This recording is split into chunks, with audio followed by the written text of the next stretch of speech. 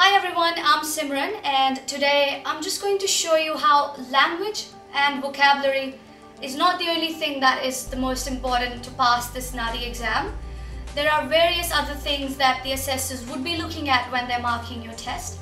So behind me is a list of the codes that are provided to the NAATI assessors to mark your test and we'll take a look at all of them individually in this video. Okay, so we'll take a look at the accuracy side first of all. Code A is major omissions, basically which means that you have missed some information out of the segment, you have not delivered the full message. Um, and the next one is code B, which is major distortions, which means you have misinterpreted the information. The message you have not delivered in its correct form as it was supposed to be delivered. So you will lose marks if you end up distorting the information. The next one is major unjustified insertions, which means that you have added some information out of your own mind which was not even in the segment. So again, you will lose marks. The next one is code D, which means excessive request for repeats. Basically, in this one is that you are allowed one repeat per, sec per dialogue. And if you do end up taking more than one repeat, there is a penalty for it. And sometimes you might end up failing the test that you've taken so many repeats. Now we look at quality of language. Now, for the sake of this video, I have combined the codes. There are actually 10 codes but I've just mixed them up because English and language other than English, there are two separate codes for each of the languages. So let's take a look at uh, all of them. So first is E and J, which is inappropriate choice of register in English and LOT. Basically, what this means is that the words that you've used are informal. You know that when you speak with your friends, you use slang, you use informal words. Those things are not allowed in NAATI exam, so you have to be very formal when you're speaking in exam. The next one is F and K, unidiomatic usage in English and language other than English. Now this code is um, something that people don't understand. Basically what this means is that you are not sounding very natural. You're sounding unnatural. Um, so you have to sound like a native speaker. If, you, if you're using some words and terminology which is not na native-like, you would lose marks. Now the next one is G, L, and H and M incorrect sentence structure in English and LOT, grammatical errors in English and LOT. These two codes are actually very important and a lot of students um, don't pay attention to these two codes.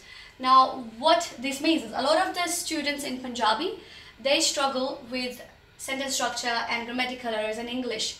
So most of them do have grammatical errors and they are not able to form sentences in English properly. And on the other side, Hindi students, they struggle with Hindi language. They cannot form sentences and they have grammatical errors in Hindi itself.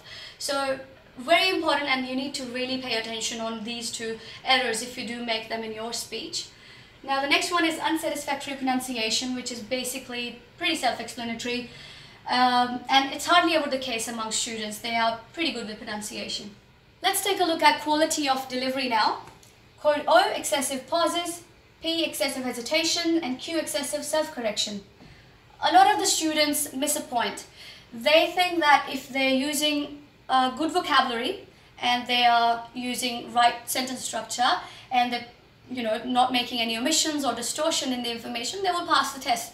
Hang on, that's not the case if you have all of these errors in your speech. A lot of students keep thinking about the vocabulary and then they hesitate, they pause. And those things are such a bad impression on the examiner. If you do all of these errors, you, you're not going to pass. So let me give you an example of this.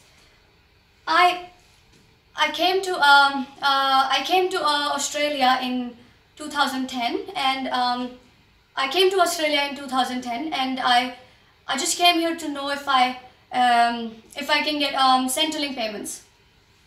Now if you watch my speech over there, I had pauses, I had hesitations and I had excessive self-correction where I went on and keep correcting myself again and again. So if you're not fluent in your speech and you are pausing, hesitating, you, you, you will not pass, unfortunately, you are in trouble. So please watch out when you're speaking. You do not have to have all of these sort of things in your speech. You have to sound formal and you have to sound fluent. So maintain your fluency is the most important thing as well to pass this exam. So now that you know about all of these codes, it's really important that you pay attention to all of these. You must have seen our results on our Facebook page, and the reason why we have the highest results is because we do not just focus on language and vocabulary, we focus on all of these things. If you are preparing for your exam, come in and book for a free trial class, and we look forward to helping you out. Thank you for watching, and I'll see you again.